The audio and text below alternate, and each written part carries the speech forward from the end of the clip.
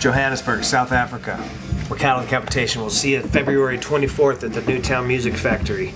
We're going to be playing with Bleeding Spawn, Insidious Reign, and Demogorgoth Satana from Soweto. It's going to be sick. We've never been there.